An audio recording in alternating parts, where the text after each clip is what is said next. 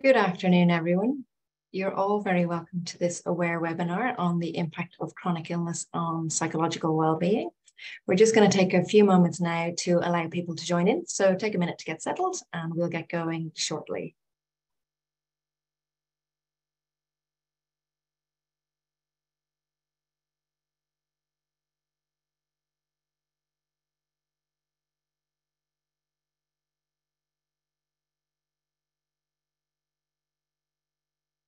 All right, so you're all very welcome again. Uh, my name is Dr. Susan Brannick. I'm a clinical psychologist and clinical director with AWARE. Our topic today is the impact of chronic illness on psychological well-being. Um, I'm delighted to be joined by my guest speakers this afternoon, Dr. Susan O'Flanagan and Victoria Spillane. A warm welcome to you both. Thanks for joining today. So just before we get going, a brief note on AWARE. So as you, many of you will know, we do these webinars on the second Wednesday of every month, talking about a range of mental health topics. And we offer uh, support services to people with living with depression, bipolar and anxiety conditions. So please do have a look at our website for more information on that area. So as I said, our topic today is the impact of chronic illness on psychological well-being. So just briefly to say chronic illness and what it is. So we might understand that as a long-term condition that people will live with for many years, maybe with symptoms persisting. Um, people may have periods of wellness, times of where the illness is more active. So we really, really welcome any questions you might have on our topic this afternoon. So we'll try to get to the, as many of them as we can. Um, we may not get to all of them. So if you're left with any questions after our discussion today, do have a look at our website and maybe talk to your team or to your GP. So without further ado, I'm very happy, as I said, to introduce Dr. Susan Flanagan and Victoria. So maybe if I'll ask you both just to briefly uh, introduce yourselves and then we'll get going into the topic. Susan, I'll start with you maybe. Thanks, Susan. And uh, yeah, thanks to you and to Aware for inviting me to be part of this discussion today. I'm just so thrilled that this topic has been talked about. I'm, I'm really thrilled to share this space with both yourself and Victoria. Um, so really warm welcome to everybody. Um, so I'm a clinical psychologist uh, and I currently work in the Mater Hospital in Dublin in the area of psycho-oncology. But for the best part of the last 10 years, I've worked in acute hospital settings and worked with people with a range of different chronic illnesses. And um, so I've worked with people with cancer, I've worked with people with HIV, and I've worked with people with infectious diseases like long COVID. Um, and also outside of those conditions, there's lots of people with multiple health conditions at the same time. So certainly a really wide range of, of chronic health conditions. Um, and I suppose my main passion is really um, thinking about the fact that a chronic illness impacts a whole person's life. And so, really passionate about hospitals and healthcare taking a holistic approach uh, towards a person's well-being and their health. Um, and you know really thinking about the impact on the whole person and the impact on someone's psychology and how psychology can uh, be influenced by chronic health and how chronic health can uh, influence our psychology as well. So really glad to be part of this conversation today. That's brilliant. Thanks, Susan. And Victoria, if I could get you to introduce yourself briefly as well. Sure. Um, so thank you for having me. Um, it's and welcome to everyone who's joining us today. Thank you for taking the time out of the middle of your day as well. I know it's not easy. Um, so I am a research support officer at APC Microbiome Ireland, which is based in University College Cork we a lot of the research that's done here focus on kind of gut health and the microbiome um, and brain gut axis um, everything that you know just to, to figure out um, how things can be caused and how to make things better for people um, I, am also on the board of directors for Crohn's Colitis Ireland because um, I think most importantly the hat that I wear is a, an IBD warrior as I put it because um, I have Crohn's disease for the last 24 years and I live with an ileostomy, a permanent ileostomy as well, which I've had for the last 12 years. Um, so I can wear many hats in life, but again, like Susan, I um, you know, I'm aware that there's a lot more chronic illnesses out there. I have a background as well um, in kind of social work and social care, so I have helped others, you know, live through different um, illnesses and all that, you know. So it's I, I'm I'm well astute to to what it's like to, you know, from caring for someone to having to care for myself as well with a chronic illness. Um, and yeah, just again to to echo Susan, it's just my passion is to just continue to bring awareness to these to, to such an issue. And i think you can talk all day about you know just living with a disease to an extent but i think that the psychological aspect can go amiss at times. So i think that such a webinar like today is vitally important yeah, brilliant. Thanks, Victoria. And thank you both for, for being here today. It's definitely a topic I think that's going to be of interest to, to a lot of people. And as you say, Victoria, certainly it, it can often get missed, the psychological aspects. So we'll talk kind of a bit more about that. And I suppose thinking about the, the things that people might run into in their journey living with a chronic condition. And I suppose thinking about our conversation today, maybe a good place to start is, is so almost kind of near the beginning in a way of that kind of initial phase of I suppose, getting a diagnosis. And that can be, I know certainly in my experience of working uh, with people living with IBD, that can be a very long lead in or it can be very short. And obviously, people come with very different life experiences to what that might be. So maybe if I start with you, Susan, maybe if you might be able to talk through a bit about what you've seen kind of in your work in terms of that first initial stage of adjustment and, and I suppose getting your head around something that's really life changing. Yeah, absolutely. Um, and a good place to start, I think, for today. Um, I think first and foremost, it's really important to say that getting a diagnosis of a chronic health condition is one of the most stressful experiences that a person will face in their life. And not just the individual person, but the family as well. Um, and I think, as you said, Susan, for some people, there might be quite a long lead in. You know, they might have some symptoms and a constellation of symptoms and maybe have some idea of, of what they're going to be diagnosed with. And for other people, it can come as a complete shock, you know, an incidental finding, a blood test that shows something up. So a real bolt out of the blue. Um, and even for people who have some inkling that something is going to happen, it's very, very different having a kind of cognitive and a, a thought that something is going to happen versus the lived reality of actually being told this is a fact. So I think first when we think about adjustment, it's really, really important to think about the person prior to their diagnosis of a chronic illness. So we don't come into this as a blank slate. You know, we come into it at a particular life stage. For so, so for some people, they're in, in young adolescence um, and they have lots of tasks and goals and, and things that they want to achieve in life and haven't got the opportunity to do so yet. And for other people, you know, maybe they have done many tasks in their life and, and they're at a later life stage.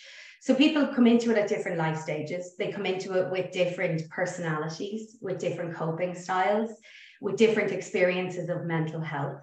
Um, they come into it with financial resources or not, with social resources or not. And all of these things really influence how somebody adjusts. And when we think about the territory of adjustment, I think it's one of the things that's most important to say is that it's not a one size fits all. Um, so when I meet with people who have had a recent diagnosis of, of a chronic health condition, I can really come across a variety of responses. So for some people, they might experience a lot of anger towards their medical team or the people themselves. Some people might actually be in denial uh, and not have taken in information. Some people might be experiencing a lot of anxiety and worry, sadness, shame, guilt. So there's a real continuum of emotions that can happen for people. Um, and I think it's really important to say that they don't happen in neat stages um, and that adjustment isn't really, um, it's not one time only experience.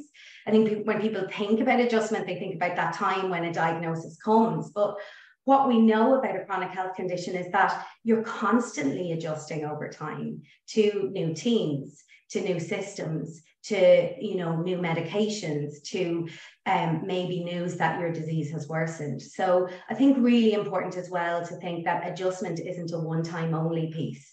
Um, and in many ways, I often say to people, it's like learning a new language. You know, you're not meant to know how to do this, and that it really does take time to adjust. Um, so very often people kind of want to rush that and move to acceptance or being okay with what's happening for them. Um, but the lived reality is for many people that adjustment, it does take time. Um, and people can go through a lot of different emotions, a lot of different thoughts, and a lot of different experiences over that time. And it's all it's all normal isn't it? I guess i would really echo that like whatever you're feeling is is is kind of okay and it might it might be difficult but it's you're going to experience a whole range of things that are going to be really different for different people based on on who you individually are. Victoria i wonder does that kind of resonate with your experiences or similarities or differences in what you what you see? Well i was diagnosed when i, I was getting sick when i was 13 um, and it just came out of nowhere. It was a pain at the end of my back and my left knee. So I was very active girl. Um, was playing basketball, just just loved being out and about. Was going to the GP. Um, said it's a basketball injury. Went on for ages. It, it took a good twelve months to get diagnosed because I kept going back. My parents kept bringing me. Knew there was something wrong, but you know, and I just kept going with it. I think I just got used to, you know, I have a high threshold of pain, and I think just because I just put up with it, you know, it's one of those things where you end up living, you make something normal in your life that isn't that you shouldn't have to make a normality. Um, and then other symptoms of Crohn's disease came on. You know, there was the frequent diarrhea, the weight loss, the severe abdomen pain, all that eye issues, every joint issues, everything that that could possibly be there with Crohn's, I was getting those symptoms. Um, the GP just kept saying, was I being bullied? You know, was there this going on? Did I have an eating disorder? It's like, no, I, I was even saying, I'm trying to eat. I just can't. I'm getting sick and whatnot.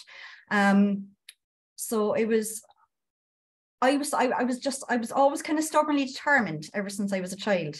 So it was a case of okay, I'm I, I, I just got on with it. Was just like I just automatically at 13 went into survival mode. It was like I just want to keep going to school. I was very academic, very ambitious. And I think that kept me going. And I had fabulous support network with my family. So that did help having that support network. Um, where they were fight, I saw them fighting the doctor for me as well. You know, so it was like, okay, they were giving me strength to then be able to stand up for myself as well in the doctors and say, look, I am here. I know I'm a child, but I'm here. Listen to what I'm saying. I need to, there's something wrong. Um, and yeah, I eventually got diagnosed and it, was tough. It was tough. Um, and, but, and I was such a severe case that I was supposed to have my large intestine fully removed immediately once I got the diagnosis. Um, so I was that person and I just said, look, I don't care. They said, you'll get a bag. And I said, I don't care. I just wanted to be better. At that stage, I was just after my Christmas exams and I was just very conscious of the fact that I, I wasn't able to do my maths test and I wasn't able to do this and do that. So I think I put my focus automatically on something else to be able to get me through. And I think that's kind of what I've found in life from having lived so long with chronic illness is that that's what I tend to do to cope. I think a lot of the time is that I will focus on something else to push through that moment, survival mode, get to the end. And then I think at times it's like okay i've dealt with that I've, I've gotten through it but you do go through a grieving process then i feel afterwards you know you go through your survival mode which is fabulous if you can get through it which i, I feel everyone can even on days where you feel you can't you can get through it but i think then it's you know when everything dies down you could be in remission um, or whatever else is going on in your life that you have to kind of fight through. And I think it's almost you go through a grieving process at that stage. And that's what I found as I got was able to get into remission after a while. I was questioning, why me? Why did I get this? You know, how has this happened? Why hasn't someone else in my family gotten it? Why don't my friends? Because back then, inflammatory bowel disease wasn't commonly known like it is now. So I was going to school with people who didn't have a clue. There was adults who didn't have a clue. Um, so it was, it, was, it was looking back, I'd say, you know, people say you're a warrior, I fight, I'm strong, and I get that. I am. And I to me, I can get through any situation but it does wear you down and it did wear me down at times. I had to go through my teenage years. That's you know when i was diagnosed and it was incredibly hard. You put on medication completely changes your appearance everything like that. So it's you know you've comments thrown at you. So you have to fight through not just getting yourself well but you're fighting through comments that you might hear your peers making adults which makes it worse when you're a kid. You're saying how can an adult make such a comment about a child's appearance? You know things like that so you do go definitely go through the grieving process. I think that's all part of it. And eventually, like I did accept having a chronic illness mm. quite well, to be honest, especially for being so young, because I educated myself on it and I just wanted to know like what is this? Um, so that did help, you know, doing my research on it and speaking. I did have a fantastic gastro a gastro team, which did help. Um, so and I was always that inquisitive but why but why and like what why is this part inflamed and why is there ulcers there and how is this how is this working i probably wrecked their heads for a while but um I, I'm just inquisitive and that's just what I'm like in general so I think as an inquisitive person, I think that I've, I've seen others with chronic illness that it, it, can help as well. You know that you do you do find out as much as you possibly can, and that does help you cope as well. Yeah. But it is the grieving process definitely that I did find that I had to go through, um, and especially when I had my intestine removed eventually because I didn't have it. They they put me on medication. They were able to save it. Um, so it, it was 12 years later when I got it removed. So that was certainly a grieving process because to me it was the death of a body part Mm. I just had to go, you know, and it was to save my life at the end of the day because I was such a severe case. Um, if I didn't have it two weeks later, I, I wouldn't have been here. Um, there was, I had a growth that was leaking that went undetected, basically. Um, they found it during surgery.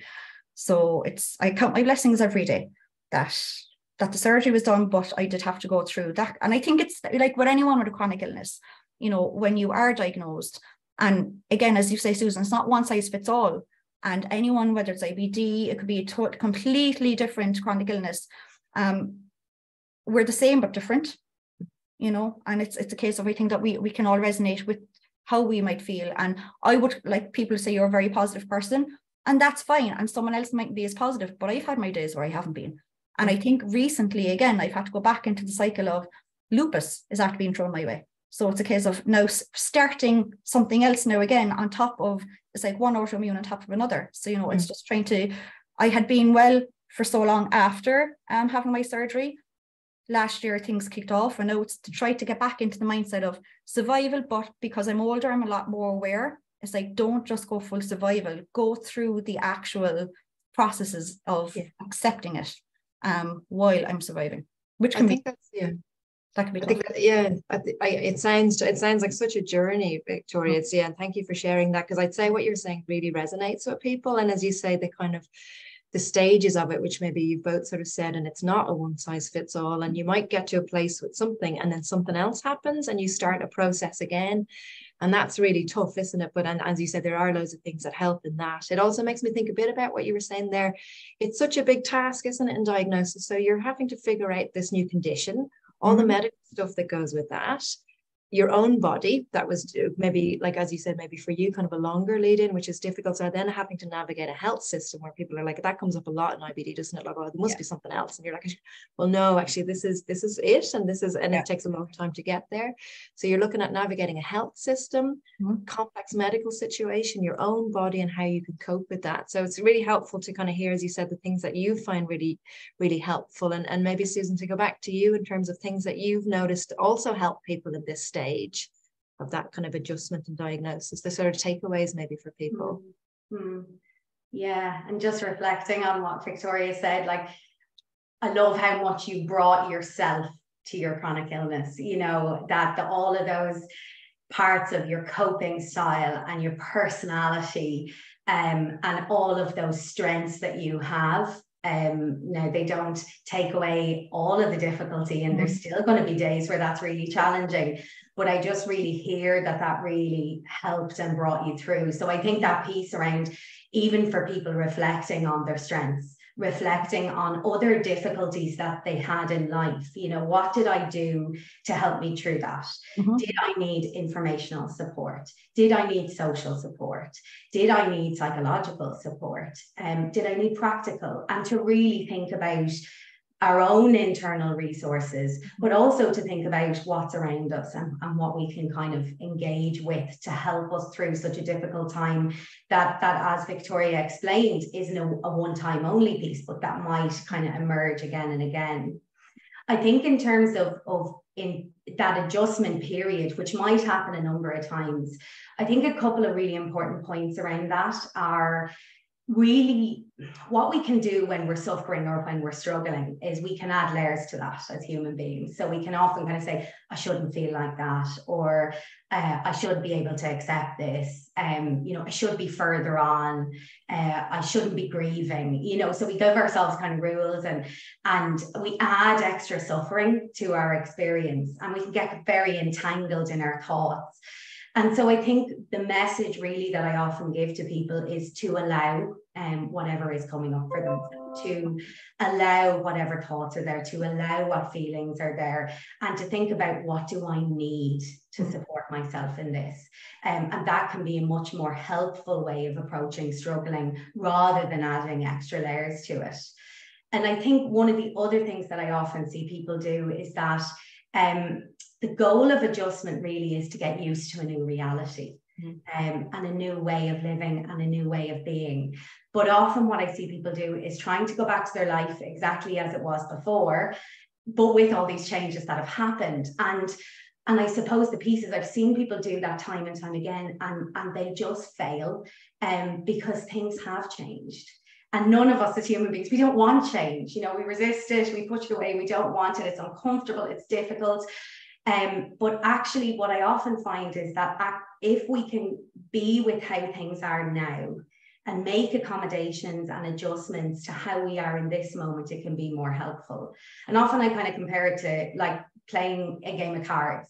Um, so we don't want to play a game of cards with a hand that we had, you know, a while ago. We need to play the game of cards with the hand that we have right now. So that looking at the here and now um, and really looking at the supports around you that can help you to adjust is, is a really important starting point.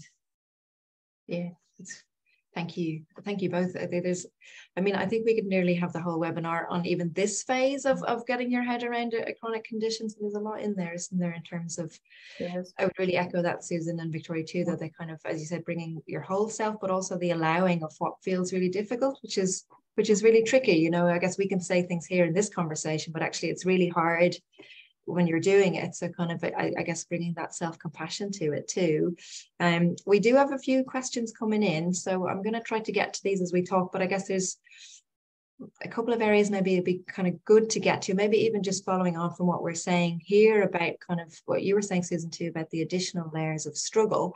So mm-hmm. most people, and I guess Victoria's you kind of testament to, you kind of go through these things and come out the other end and find that equilibrium. But but also there can be difficulties, kind of mood and and anxiety can interact with with long-term conditions. And it can be really, it can be really complicated, can't it? So mm-hmm. certainly um if we think about trying to tease that apart, you know, so maybe feeling kind of sleep is really affected, you're not eating, um, so appetite might be kind of gone out the window, not enjoying stuff, feeling quite quite tired. They can be symptoms of, of many long-term conditions, but they can also be signs of depression, can't they? So I guess it's um, it's trying to unpack a bit what might be going on for you individually. So I guess, and what we know maybe is that people living with long-term conditions or chronic illness are two to three times more likely to develop difficulties with, with depression or anxiety. And that's because it's it's so complex. Um, Susan, I wonder if you might say a little bit maybe on on how someone might kind of identify or kind of look at start of kind of unpacking that a bit. So how they might kind of figure out is this kind of my disease being very active or actually am I feeling quite low or is it what would be the kind of signs or what could help there do you think? Oh, I think it's I think it's such a good question. I'm so glad it's come up um, because it's what um, comes into the therapy room often uh, when people come in to see me. And I think, as you said, Susan, like the majority, like so, like probably two thirds of people will reach an equilibrium. Um, and and what we know is that even in that equilibrium, after after a difficult experience or or that period of adjustment, you will have days where you're feeling down, and you will have days where you're feeling more anxious. So I suppose firstly to differentiate that that kind of moods and as victoria said they are bound to be affected and they are bound to go up and down when you are dealing with such a lot. Um, so i suppose that kind of piece just to normalize that first that people will experience maybe periods of, of low mood or anxiety um, and that they will likely ebb and flow depending what's happening with your illness and in your life but for a third of people they will have have more difficulties and will experience maybe anxiety or depression or panic. And among other um, mental health conditions as well. Um, and as you said, Susan, like a, a, physical illness, and I think Victoria touched into this, that there's a lot of themes, regardless of what illness we're talking about. And I'm sure there's people joining us with real variety and continuum of illnesses today. There is going to be common themes. So physical illness is going to affect our sleep. It's going to affect our appetite. It's going to affect our libido. It's going to affect um, our energy levels. But all of those things are things that we look out for if we're monitoring for mood and mental health as well. So often, what I would go to is that I would think about not just the physical experiences that can overlap or be intertwined between a physical illness and mental health, but I would also just be thinking about feelings and thinking about thoughts. So, say for instance, if we took an experience of depression, and um, maybe I'd be asking someone not about their energy, not about their sleep. They're important too, but really to hone in, I'd probably be thinking about, you know, what what is your thought process like? You know, are you having a lot of negative thoughts about yourself, about your future, about other people around you? Are you feeling more irritable? Are you feeling a sense of dread? Are you feeling more hopeless? So I think what's really important when we're monitoring our own mental health in the midst of a, a, chronic health condition is that we're kind of teasing apart look what's normal as a result of the physical illness, but also that piece of, of monitoring, you know, how am I doing from an emotional point of view and how am I doing from a cognitive point of view? What are my thoughts like as well? So I think differentiating those two is really, really important. Yeah, yeah, no, that's really helpful. And I think maybe if there's any, excuse me, I guess healthcare professionals that aren't in medical set or aren't in hospital settings, that's a good kind of way to frame it as well. Maybe GP or other kind of mental healthcare professionals. So trying to make sense of it through that different lens as well. So because it is it is complicated, isn't it? Mm-hmm. Mm-hmm. And Victoria, I wonder whether that kind of resonates with you or, or your kind of experiences in that, or again, it does. And I think especially most recently, you know, again, I suppose in one sense, I look, look, I try to look at all situations that arise in life, whether it is chronic illness or the hundred other things that I've kind of gone through. I'm one of those people I say I could write a book at this stage, um, not just about chronic illness, mm. but it's like that, you know, it's forever getting through stuff, but it's I'm always I always try to find something to be grateful for with anything I'm actually experiencing, whether it is it, it is an illness or whether it could be a divorce or could be miscarriages, could be whatever it might be. I always look for, and I know I might annoy some people, but that's just I always find if you can just find some little bit of a silver lining and that can help because I think that then helps for the next thing that that comes your way. I mean, this is the the joys of life. There's always going to be something, you know, whether it's now or it's something mightn't have hit yet, it could be 10 years down the line. It's just to, and it'll tie in with, with resilience. I know what, that we might speak on that later. Um, but I do find that I think this year has been a very particularly tough year for me. I lost my grandmother, who was my biggest support. Basically, she was like a second mother to me. So that was incredibly hard. And I think that with getting kind of, you know, lupus thrown at me, I did actually think, how am I getting through this without her? Do you know this? Because she was always my go-to to come to hospital appointments and do this and do that. Um, so it's this year has been completely new for me in, in one sense because I, you know, as I said earlier, always surround yourself with with a good support network. And this is the know, I still have a fabulous family, but she was just such a strong person in my life. I'm like, okay, that that strength is gone. I know this is like a new journey for me now again, you know. And again, and it's adjusting again. It's it's a readjustment of how am I now coping this year with another illness, you know. Um, I'm co it's obviously it's a different illness quite similar symptoms with regards to joints and things like that, which is why there was a bit of an overlap. What was it? Was it Crohn's active again? What was it? So it's taken a while. Um, but it was just to try to readjust to Susan said, you know, you have to constantly kind of readjust to situations. And I do feel that this year I've seen down and said, am I depressed or is it just because I don't feel well? What is it? And I did actually sit down and say, okay, and I, I did do that because I you know, it was just a case of I'm just, I've been through so much in life. I sat down, I actually remember sitting down at home one day and I said, okay. And I just looked out the window. I'm in a new house with my partner, our little puppy, the whole lot. And I said, everything is great. Yes, Nana isn't here, but she's, she went through a lot herself. So she's at peace now. And I was like, okay, that's how I will come to terms with that. But no, am I actually depressed because of everything that's happened? Or is it just the illness? And I, I was actually just thinking, I was framing my thoughts, you know, and it was like, no, I actually am, bar how I'm feeling, you know, I, I, I just had this fatigue constant and it was just it aches and pains and I just had no interest in doing much, if anything, you know, and I, I, I would just sit down and say, I'll read a book later. And say, and I'd never get to read the book. I'd be just sitting there I could just be staring at the TV and it's like, am I depressed or what is it? Or is it just, um, and then I was saying, no, I'm actually grateful and I actually am happy you know, when I sat down and like sat with my thoughts, it's like I actually am happy in life. So I, I did come to the conclusion it is just what I'm actually going through with the chronic illness right now. You know, I was able to, in my head, say, okay, I'm not actually depressed right this minute, but I'm actually I'm just going through a lot with my body and it's just making me feel that way. You know, it's making me feel like I can't actually get up and go for a walk. I can't get up and go for a jog again. Like, you know, because I've had to give up a bit of physical activity again until I get into remission this way, this way. Um over the next few weeks, hopefully. So it is, yeah, it's it's tough. It is, it is incredibly tough where you have to actually try and not everyone will be able to sit down and say, okay, am I depressed or am I not?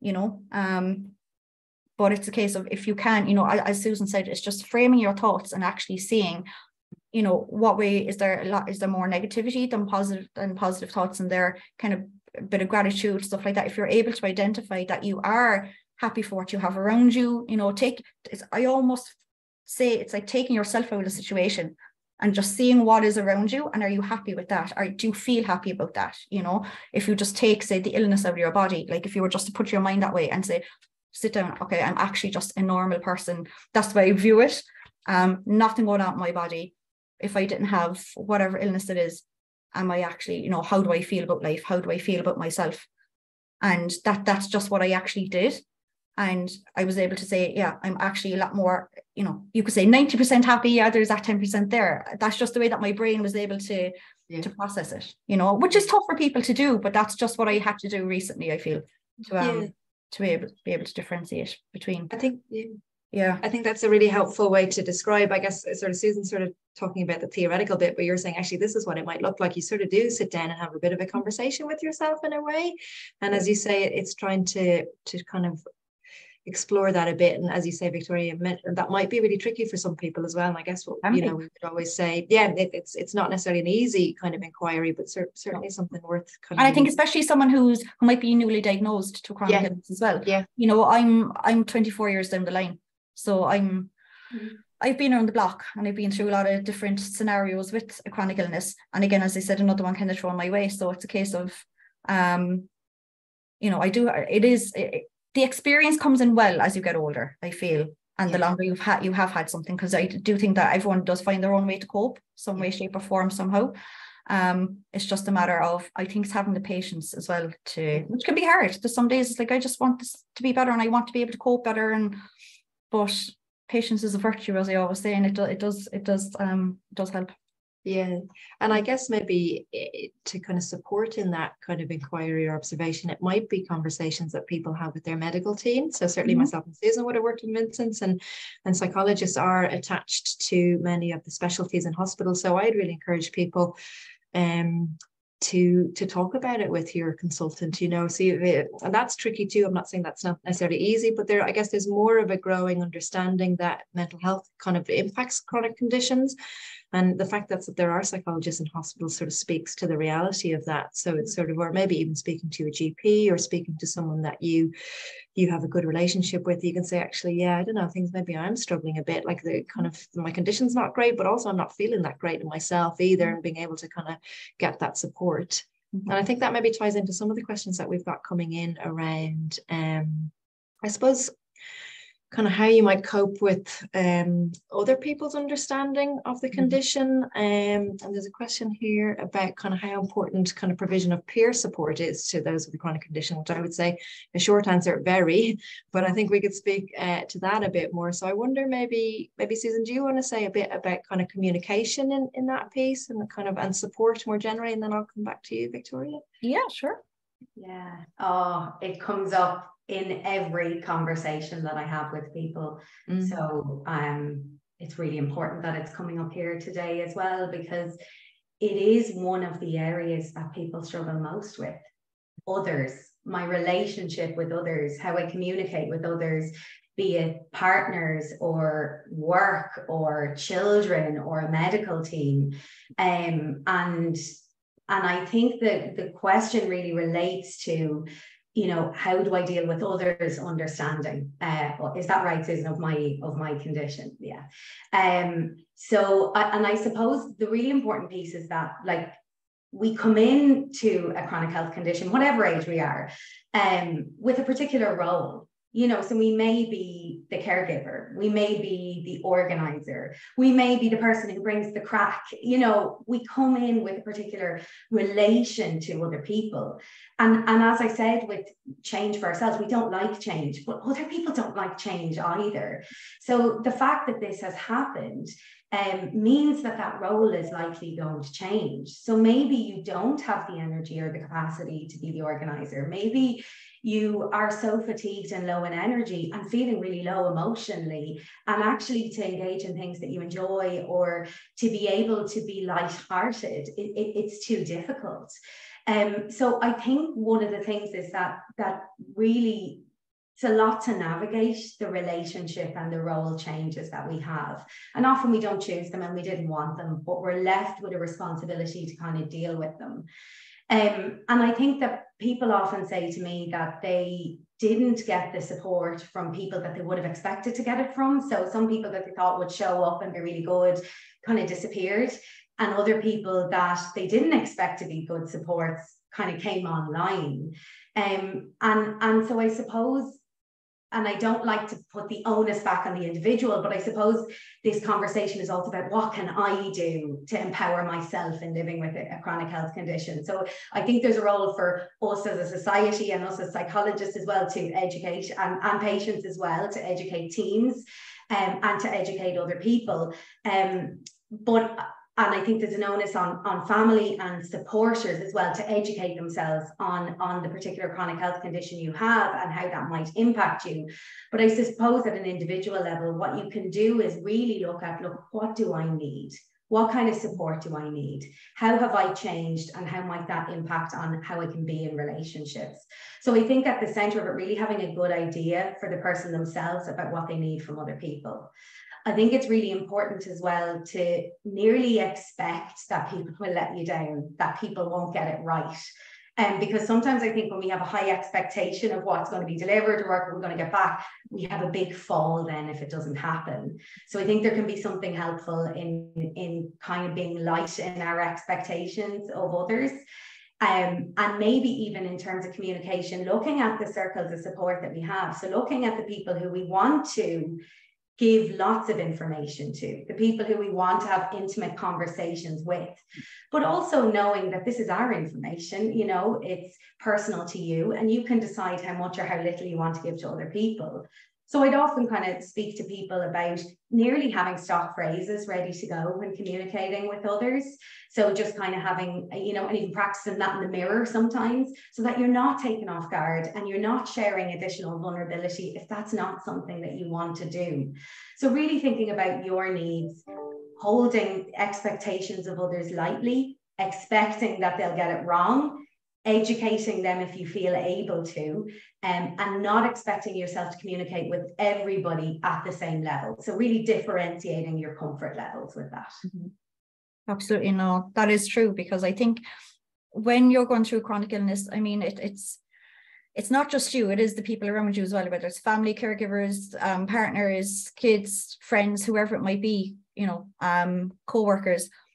But at the end of the day, it's you and it's you only going through this you know physically feeling everything you know? Um and i think obviously anyone with a chronic illness you are vulnerable you know? You're vulnerable in, in your lowest times when you're when you're in a flare you know? You could be after getting really bad diagnosis whether it's terminal whatever it might be.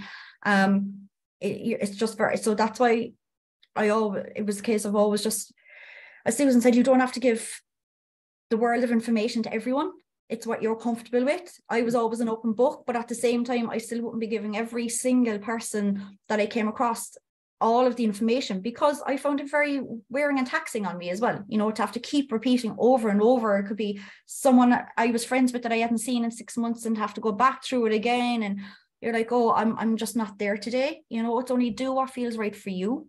Um, but navigating relationships can can be tough, you know. Um, and it, it, can be incredibly tough with a chronic illness you know it's no matter how good a support network it that you might have it is still tough i mean i hated what i found when i especially when i was younger if someone asked me are you okay people couldn't ask me that question i hated that question so much but that's all my family were asking because you know it was just that worry and it's, it's just an automatic thing you would ask. You know, my mom could come into the bedroom, are you okay? It's like, and I'd say, don't ask me that again. I'm fine. Just don't. And I mightn't be fine, but I'd be like, I'm fine, leave me alone. It's just that irritability kind of comes into it a small bit, and it's like, I'm fine, leave me alone. Um, but it is, it, it, it is very, very tough to to navigate through relationships at times when when you have a chronic illness. It can be. Yeah. I, I think just to, to follow up on something you said there, Victoria, that I think is so important because I'm conscious the people joining us today might be patients themselves, but they might also be the partner or support mm. person. And and actually, I, I work a lot in oncology, but we know from the research as well that the distress level can actually be the same, if not higher, mm. um, in the person that's that's a partner over supporting someone with a chronic illness. So you're not just navigating like the communication needs and the distress of one person, but but both people might be really struggling with that, and yeah. both people might have very different ways of coping with it. Mm-hmm. You know, some one person might like to talk through everything, whereas the other person might want to avoid those kind of conversations and just be more practical in their coping style. So often it's kind of going, look, geez, even with these really distinct different coping styles, how do we kind of come to some sort of understanding of what yeah. the other person needs in that? Yeah. I think that's really helpful and, and having kind of conversations around that, mm-hmm. not there, and kind of navigating that. There's there's a lot in it, isn't there? And I guess there's kind of questions coming through of how you might support someone maybe with a chronic illness who might also be kind of prone to low mood or difficulties with kind of anxiety.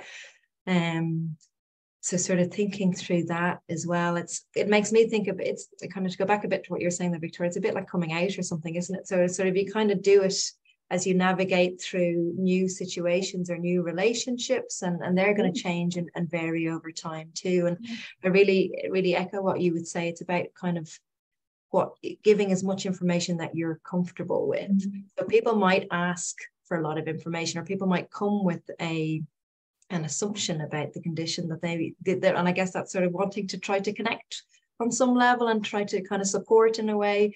So I suppose it's really being mindful of, as we said, our kind of our own ways of coping and responding and, and other people's too. And, and again, and kind of bringing that sort of compassion to it. It's it's hard, isn't it? They're hard conversations there to have and they're hard things to, to kind of get your head around.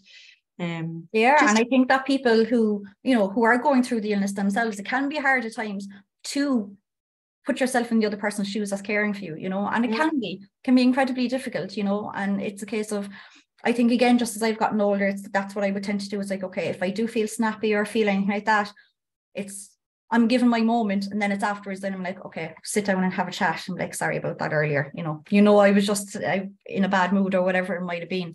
Um, but it's it, it is tough. And I think as well, you know, for someone whose body might have changed physically in any in whatever way it might be with a chronic illness, you know that that does raise more you know people are more inquisitive. You know what happened? You know what how, how are you how are you coping you know with you know with whatever it might be that's after happening? And you know again i i've often found myself shutting down saying i'm fine it's grand. Like you know it's not that i wouldn't welcome the whole you know but it's just again you mightn't be ready at the time and that's completely fine. You know if you're not ready then you're not ready you know and then when you are you are.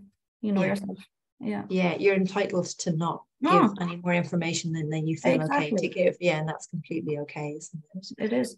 Yeah. Yeah, yeah. and I think, I think that's one of the pieces that like having like with chronic health conditions some of it might be invisible. Mm. yeah people might not know all that you're struggling with in terms of energy or in terms of mm-hmm. you know kind of internal symptoms that you know pain and things like that mm-hmm. whereas whereas some of the the kind of signs and they're more visible to other people so i guess that kind of question of how do i support someone um mm-hmm.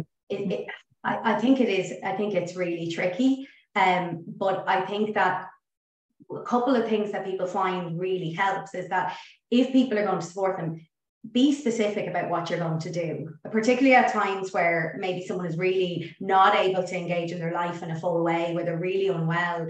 You know, be specific and offer offer something that you can consistently do. And I think just one of the things that I hear people say often is, you know, people have been very, very positive or very optimistic.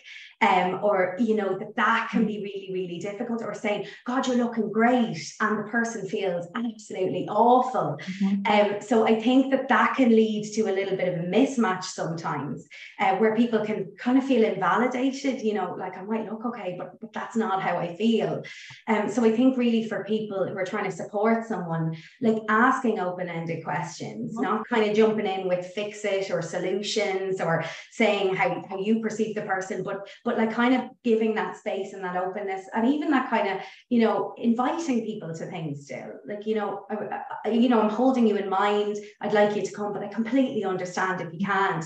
So i think kind of holding that piece of still holding the person in mind still including them but also that understanding of their condition that that might not always be possible and that that's okay too.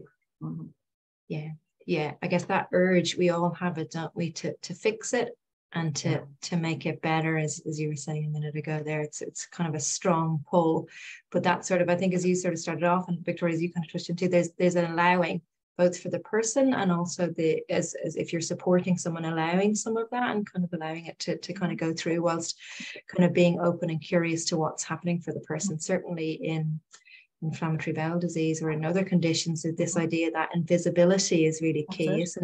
So and and i don't know what you think about this victoria but it's so important to yeah as you say susan to keep inviting people to stuff just because and i suppose it can be really difficult i think it, with the the nature of a chronic condition as we said at the beginning that you can kind of it can be sort of symptoms can be okay, or you might be going through mm-hmm. periods where symptoms are very active. You might not always get a huge warning to that. So something that's in the diary for a month's time, the day before, is just not going to be doable. Mm-hmm. But that's not because you're unreliable or you didn't want to go. So it's really mm. trying to and, and i guess it can be a lot of difficulty around that too of kind of having committed to something and it not being possible. So certainly i guess if you are kind of in a a group of friends are still kind of always asking again, you know, and kind of with that caveat that it's there is a bit of uncertainty in it. And I suppose if you're the person who's not able to get to that event again, kind of navigating through that can be that can be quite difficult. So that's where the kind of communication can kind of come in too, in as much as feels okay and depends mm-hmm. on the the relationships. And I don't know if you want to say a bit to that, Victoria, because I think it comes up so much that sort of the unpredictability and, and maybe the invisibility of a lot of conditions that people Absolutely, maybe just yeah um because as you say IBD um even lupus other things you know they're as the invisible. Yeah you can tell sometimes if someone is it depends on the type of flare someone is having. You know you might either lose a lot of weight or you could be pumped full of steroids again then when you're going into back into remission so you're bloated so it's it's very up and down and it's just communication is key to be honest. You know and i get that there's days where you just don't want to talk to anyone you don't want to have to explain. And i do i do feel a lot of people are of the mindset of you know I shouldn't have to explain myself to anyone and that's com- that's that's true you shouldn't have to explain yourself to anyone. But I do think that about it's just keeping the the, commun- the lines of communication open with your nearest and dearest at least you know? Yeah you don't need to splash your your news all over social media like what's going on with you um if you don't want to but it's just about just keeping the lines of communication open with, with your nearest and dearest that that is vital you know, especially because you are vulnerable. And again, you are going to go through the ebbs and flows of you might feel fine one month, you might be bad again the next month, or whatever it might be. It could be more frequent for some others, it might be a lot less frequent for, for others, but the time will come again where something will probably arise again where you don't feel well, you're going through tests, whatever it might be. Um, and it can be tough, but it's, you know, for some people who might just have a youth support network, that's fine if you want to discuss with everyone. But you know, I just found for myself it was the case of it was my immediate family, my closest friends. Um, and yeah, if, if people ask me questions going forward, that's fine. But I think it was I always I was never I always got through everything my, say with myself and my support network. I, I was never one for advertising stuff around the place, but until this year, I feel um because I think that you know IBD in particular so predominant. I just wanted to bring more awareness to it. That and even just living with a chronic illness, you know. So this is my time after coming out of you know having everything held in for the last 20, well, 23 years, you could say, you know into my 24th year. Um, but it is massively important um, when you're vulnerable to actually don't shut people out, you know, and it's easy. You might have your days where you do, of course, you know, you might have your weeks where you do, but don't shut people out um, permanently. You know, it's it's very important, even if it's a case of talking to someone for five minutes of a day, that can help, you know. Yeah. Um, even if it helps you for an hour that day, so be it. That's what I found. If it helped me for an hour and I was down for the rest of the time, then there's always the next day. The next day might be a better day. You know, it's just okay, tomorrow is a new day. You know, if tomorrow is the same, there's next week. You know, there's there is. I always say there, there's light at the end of the tunnel. There mm. really, really is. It's just a matter of just looking for it and finding it somehow.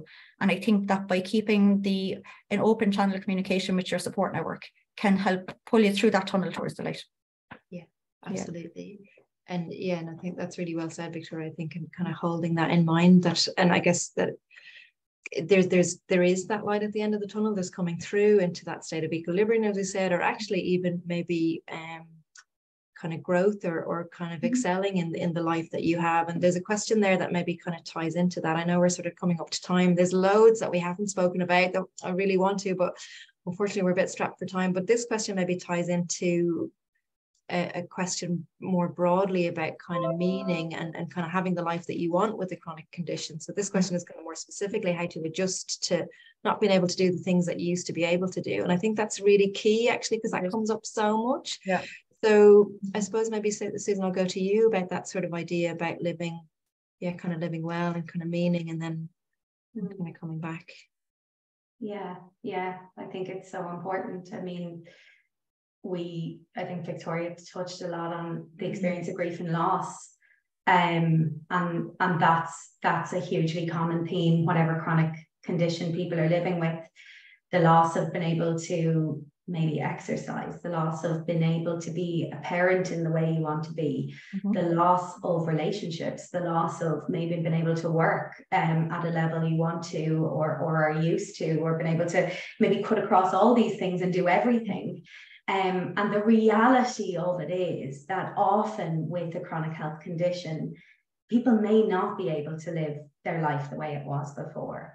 Um, and I think there's a, a real importance of allowing people time and space to process that. And that loss will, will keep showing up and that grief will likely, likely keep coming up.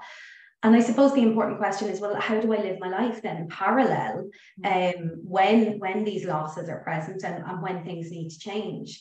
And so I think it, it comes back to thinking about what matters um, and what do I value? And I think Victoria said it really well in terms of the last year of her life, that where she's been talking and and being more front and focal and thinking about you know supporting others and bringing awareness to IBD you know so that's a real value and and so I suppose it's maybe I can't do things how I did them before but what was it that really mattered to me about doing that particular thing mm-hmm. so maybe if we think about an example of something like parenting no maybe I can't go down I can't play football with my child like I did before. I can't attend all of, all of the performances that I did before. But what mattered about that? Okay, well, what mattered was that I wanted to be present and I wanted to show care and I want to show up. So, how can I still keep those things and still live by my values? Even if they have to look differently than they did before. And I think for people, if we if there's one thing you can do to help support that is to really think about what do I value? What really, really matters to me in life? How do I want to be? How do I want to show up? Um, and how do I want to be remembered? And if we can kind of start there and then tease apart, okay, maybe I can't do it in the way I did it before, but there are ways I can still do it. And that will feel a lot better than not doing it at all. Absolutely. And I can resonate with that because I, I I always wanted, I was just always naturally kind of caring and I wanted to be a clinician. And then as I was getting, you know, I was going through my teenage years and I was saying, okay, if I if I'm in flares and I was in hospital a lot, and it's like, okay, if I become a doctor, I'm going to be working in a hospital, and then when I'm in a flare, I'll be in the hospital, so I'll be living in a hospital. That that that can't work for me. Nursing can't work for me. So I was like, how can I do it? So then I went to kind of social science, social kind of care route. And it was like, okay, so I can help others this way did work in that for a few years, did, you know, got my uh, degree. And then I had to have my surgery. And some of that work was a bit strenuous. So on the body. And it was a case of, okay, I had to give that up. And I did get down. I was like, okay, I've no, okay, so I couldn't do what I initially wanted to do when I was growing up. Then I went to college, did four years. That's down the drain. What do I do now? You know, when I got when I got the bag, and it was like, what do I do now? So then I decided to go into health research, and it was like okay that's another way of helping us. So that that's what it was. It was just what did i value? And i just wanted to help others somehow. So that's what exactly susan what i kind of had to sit down and do. And was like okay think about what did i want to do? You know i want to help others. How can i do it now? You know and that's just the way that it just naturally flowed. So you know my cv is a mix of god knows everything but it, you know, it, it was still a way of getting to the core of what I actually valued and wanted to do, and that was to help others. You know, and it was the same. I had to give up playing sport, you know, and it was a case of what can I do to keep active? And so then it was like, okay, so I can't play basketball anymore. I can't do this. I can't do that. I'll go for a walk. I can't. I can't really walk right now either at my joints. But um, it's a case of you know, it's it is finding that value. And as you say, and, and again, even for me, I would love to have had kids. I've, I've I've had four miscarriages. You know, it's a case of is that down to there's still questions of is that due to what my body has gone through? Is it due to lupus? Is what is it due? So there's still question marks over that. And it's I, I've kind of resigned to the fact of it's almost something grieving something that you haven't exactly become yet, which is a mother for me. And it's a case of I may never be. So I've just had to again rethink of what my life would look like without children, you know, and the way that I look at it, I can travel, I can do this, I can do that. So it's almost filling time that you might have done, you know, spent with kids is how can I fill my time as I get older, you know?